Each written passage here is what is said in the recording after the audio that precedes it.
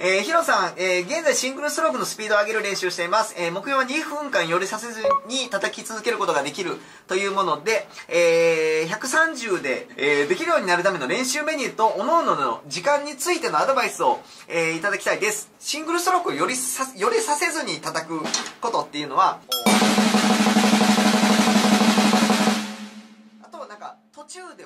が変わっても同じ音を出せるようにするっていうだから2つの考え方でできたらいいと思うんですね。なので例えば、えーと、親指を上にして、えーと、指を割とメインで使うやり方から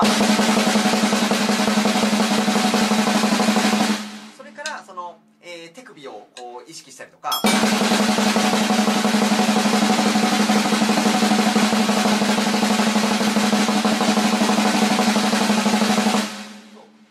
場所を変えても、えー、叩くその何て言うんでしょうこう使う場所とかその叩くフォームを変えても同じ音を出せれるようにできたら2分間なんとなくこうねこう続けられるようになってくると思うんですね。全く同じフォームでやるっていうのもまあもちろんこう大事やと思うんですけど、まあ、結構まあ疲れやすくはなるのでこう疲れたなと思ったらどこかで使う場所を変えてこう動きを分散させて継続させれるようにするみたいな。結構ねあの僕のあの2分間一緒に練習シリーズのやつを見てもらったら分かると思うんですけど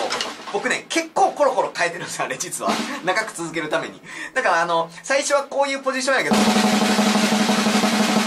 なんかこう手をちょっと広げてみたりとかこう親指上にしてみたりとか結構フォームコロコロ変えてたりするんですよね。なのであの継続するためにあのなんかフォームを変えてもあのなんやろこうリズムがブレずにというかあの継続できるようにしたりとかっていう工夫をしたりとかも、まあ、ありやし、まあ、スピードは単純にもうなんかなんでしょうえっ、ー、とねこうストーンキラーとかでまあえー、瞬発的なところから徐々にこう長くしていけれたらいいと思うしで、まあ、あのずっと2分間続けるっていうのはなかなか大変なことやとは思うんですけど、まあ、スピードを上げるっていうこの瞬発的なスピードと、まあ、継続させるっていうのはまたちょっとこう別の練習としてやってみてもらってもいいんじゃないかなと思いますね。